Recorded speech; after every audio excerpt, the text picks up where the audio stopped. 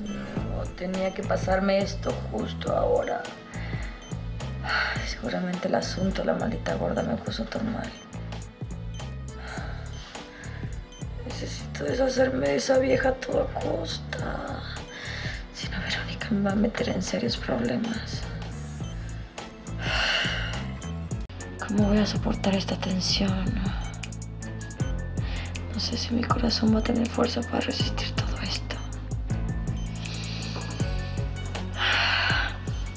Mientras las cosas sigan saliendo mal, estoy en peligro de ponerme mucho peor.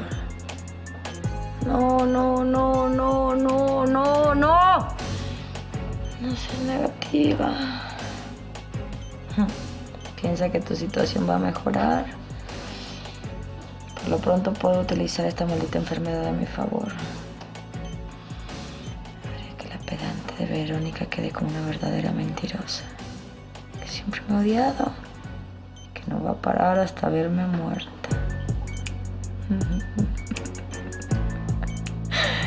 Te voy a hundir, joyerito de bisutería. Te voy a fastidiar la vida.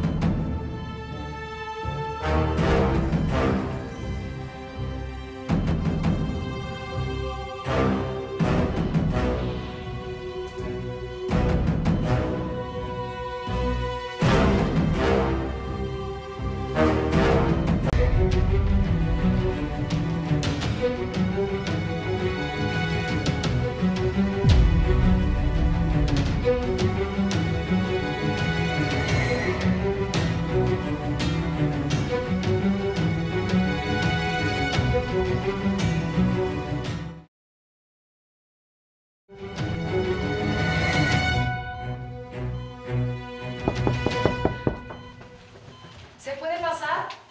Es hora de la medicación. Señora Matilde, despierte, es hora de su... Sí, Ahora voy a tener que buscar otra oportunidad. ¿Se puede saber dónde estabas? Tita, no sabía que estabas en el baño. No me sentí bien y fue a buscar al doctor. ¿Por qué no simplemente apretaste el botón para llamar a la enfermera y pedirle que ella fuera por el médico? La verdad es que no soporto a esa enfermera. Algo estás ocultando, Virginia. Quiero que me lo digas ahora. Ahora tú también te vas a poner en mi contra. No puedo creerlo. Eres la única que está de mi lado y ahora me das la espalda poniendo en duda lo que te estoy diciendo. ¿Es en serio? Olvídate esa actitud de víctima. Ya no te funciona conmigo. Estoy teniendo que pagar los platos rotos con Jorge por defenderte. Tita, ¿no te bastó a enterarte que estuviera al borde de la muerte para que se den cuenta que no estoy fingiendo ser una víctima? ¡Lo soy! ¡Lo soy! He sido el blanco de las intrigas de Verónica, del desprecio de mi tío, de las dudas de Emiliano, de todas sus acusaciones.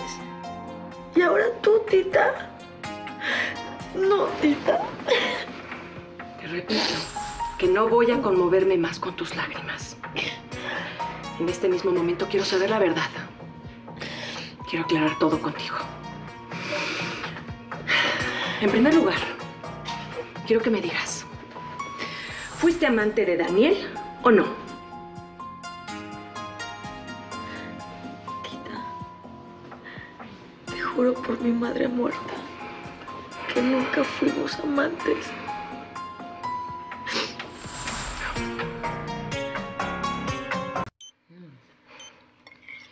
Tienes que cuidarte, hija. No puedes excederte. Te prometo que lo voy a hacer.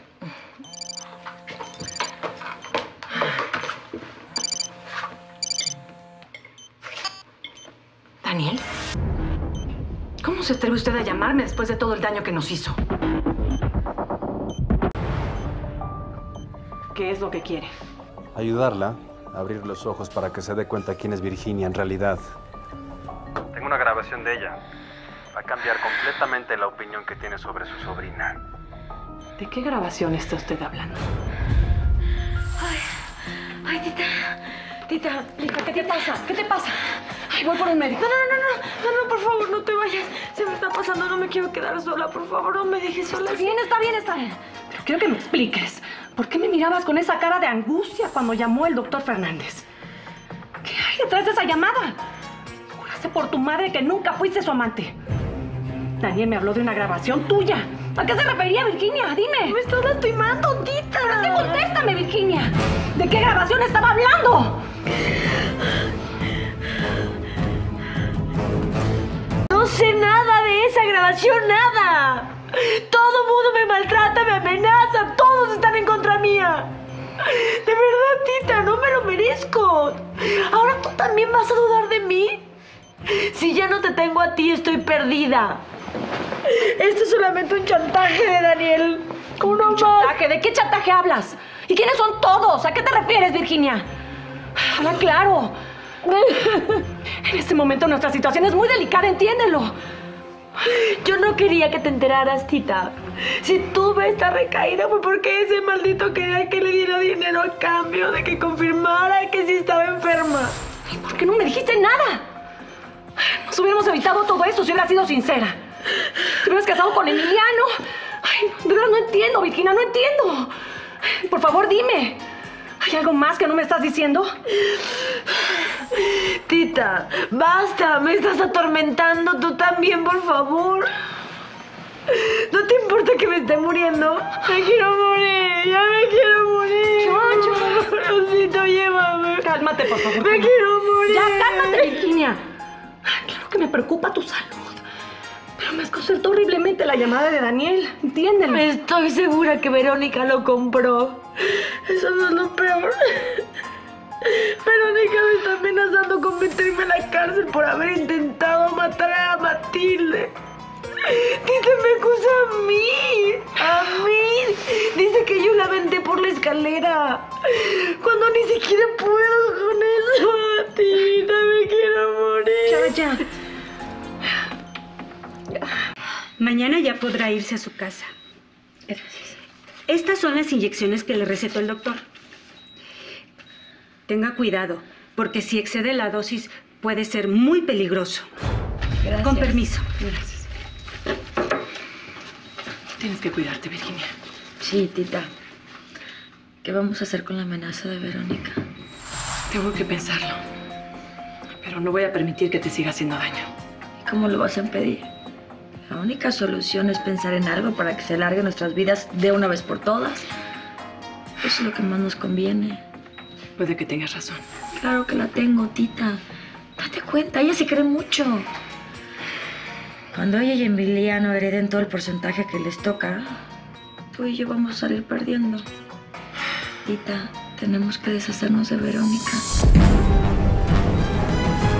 Me da gusto que ya estés aquí. ¿Quieres comer algo o necesitas alguna cosa? No, nada, gracias. ¿Por qué? Ay, Porque francamente estoy cansadísima. Necesito dormir un poco. Creo que me voy a tomar una pastilla para descansar mejor. Aldo, tía, no te preocupes por mí. Yo también me voy a acostar y voy por un vasito de agua a la cocina. Harás bien, hija. Todavía necesitas mucho reposo.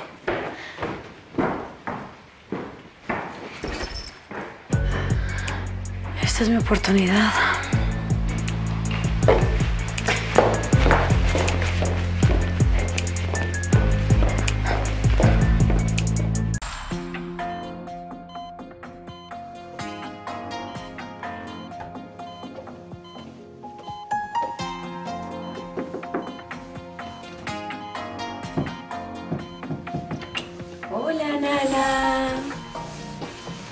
Te asustes que soy yo.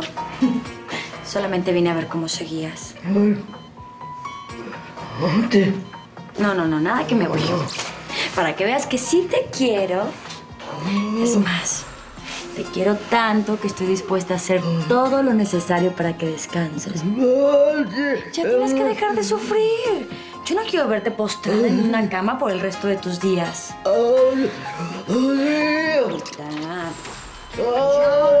Voy a permitir que sufras. No. Quiero que seas una inválida de por vida.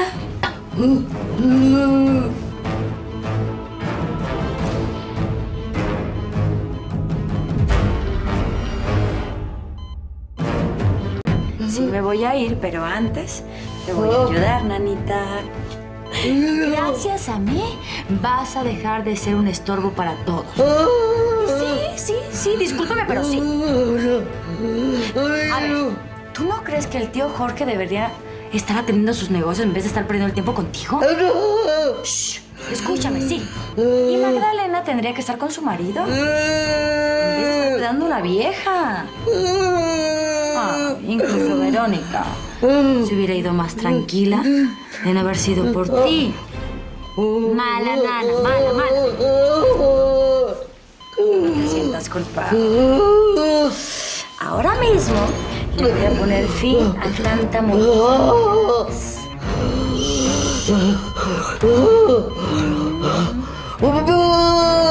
¿Te vas a ir tranquila? Gracias a mí.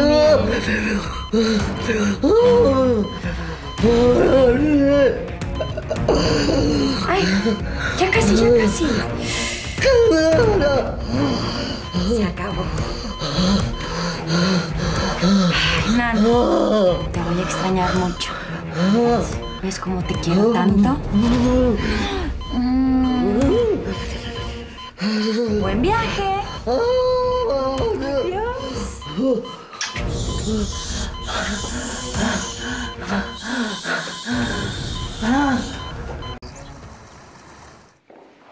Virginia, Ay, ay, tío. ¿de dónde vienes? Del jardín. ¿Qué? ¿Te sientes bien? No, estoy, estoy débil. Nadie me creyó que estaba enferma. ¿Y tú te quieres divorciar de mi tita por haberme defendido? Todo ha sido por culpa de Verónica. Voy a hablar con Verónica en mi escondida. Y cuando regrese voy a buscar al doctor Fernández. Voy a exigirle que me explique qué hizo contigo. Tío, ya no tiene caso. Para mí sí lo tiene. Para mí sí, Virginia.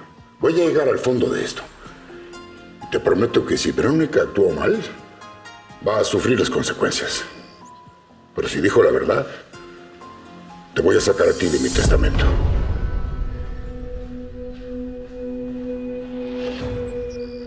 Eso si no te pasa algo, Tito.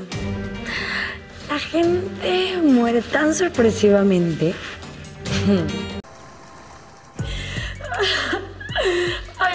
no, Tito, no puede ser que la nana Mati nos haya dejado. Pero si ya estaba bien, está dando señales de mejoría, no entiendo nada. Esto le va a doler muchísimo a Emiliano.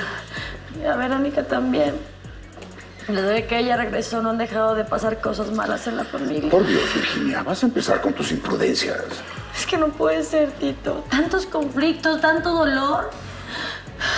Yo no sé, pero yo siento que esto me va a poner más enferma de lo que yo ya estoy, Por favor, mi amor, tranquila, tranquila, Virginia, ya, mi amor. No te predispongas, mi vida. Pero ahora lo más importante es preparar todo para el velorio de Matilde.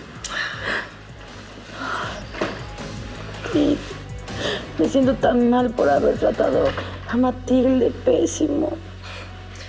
Que se haya muerto no le quita que haya sido una metiche y que solo vivía para Verónica. No tienes por qué preocuparte por eso. Ahora lo más importante es tu salud, mi amor.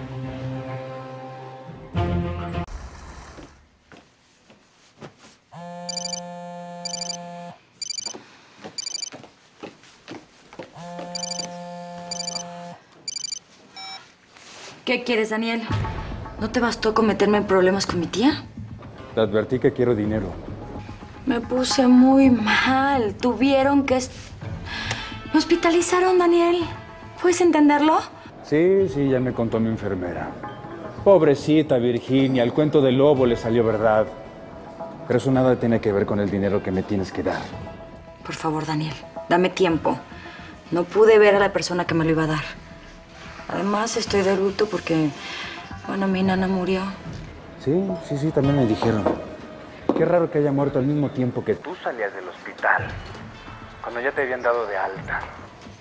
¿Qué tiene de raro? Ay, querida, no nos hagamos los tontos. Casi podría asegurar que estás involucrada. Voy a investigar. Estoy seguro que Verónica me va a dar mucho dinero si pruebo que tú tuviste algo que ver con la muerte de su adorada nana. Le puedo enseñar todos los estudios que me hicieron. Estuve internada. Pero ya tengo la información que va a beneficiarlo. No, hoy no puedo. Tengo algo donde estoy obligada a asistir. Se murió una criada y bueno, mi familia quiere que todos estemos reunidos.